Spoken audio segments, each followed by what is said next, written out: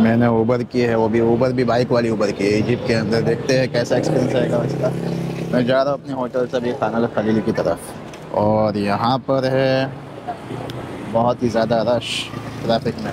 अगर टैक्सी वगैरह भी मंगाता तो कम से कम आधा घंटा लगता है और पैसे भी ज़्यादा लगते। ये देखा हो, यहाँ पर ऊबर मंगा दिए बाइक है और एक डॉलर चालीस इजिप्शियन पाउंड में से चार्ज बता रहा है।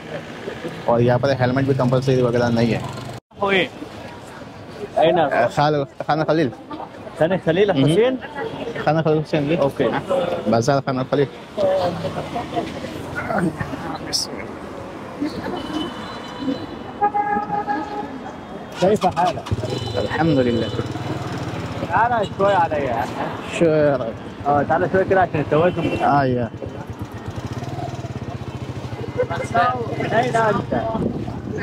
Panamá.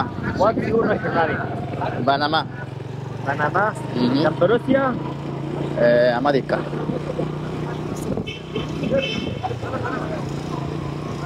ये देखो उबेर की है हम लोग ने बाइक वाली उबेर यहाँ पर हेलमेट वगैरह कुछ कंपलसरी नहीं है इंदा साहब जाओ और रास्ता भी ऐसा है गाड़ी वाले से चलाते तो बाइक वाले समझो कैसे चलाते ये देखो कम था इंदा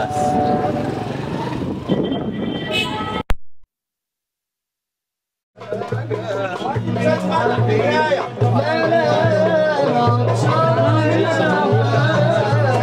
ये देखो, ये है खाना खलीली का बाज़ार। यहाँ पर लोग इजिप्शियन लोग आराम से फ़र्स्ट क्लास अपना मज़ा करते हैं। ये कोई टूरिस्ट नहीं है, सब इजिप्शियन लोकल लोग हैं। यहाँ पर आके बैठते हैं इंजॉय करते हैं। हालाँकि छुट्टी वैकेशन वाले दिन भी नहीं है, लेकिन फिर भी यहाँ पर भी लोग पूरा फुल है, पूरा फुल है। टूरिस्ट के लिए तो जगह ही क्या?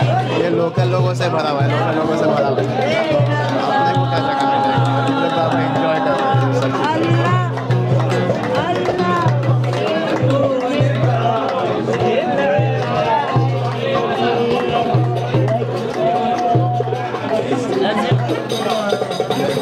हर टेबल पर कोई ना कोई म्यूज़िक के साथ में लगा हुआ है।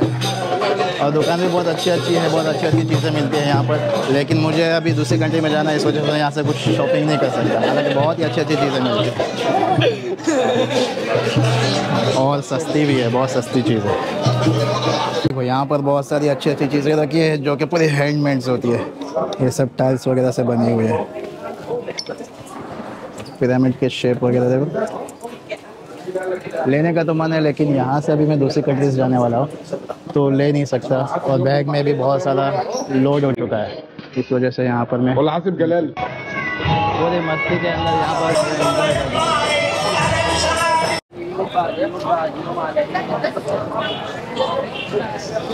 पर मार्केट यहाँ पर खाना खलील है। और ये हज़रत इमाम Hussain Welcome back, welcome back. मस्जिद हुसैन मस्जिद। तो अंदर से भी आपको बताऊँगा कि अंदर क्या क्या है। ये यहाँ की फ़ेमस मस्जिद है। इतना रश रहता है यहाँ पर इतना रश रहता है। कोई हद नहीं। होटल भी सब फुल है, रास्ता भी सब फुल है और गाड़ियों की रास्ते भी सब फुल है। ना रोड पर चलने की जगह है, ना रोड पर गाड़ी चलाने की जगह है, ना रेस्टोरेंट में बैठ के खाने की जगह है। सब चीज़ फुल होती है यहाँ पर।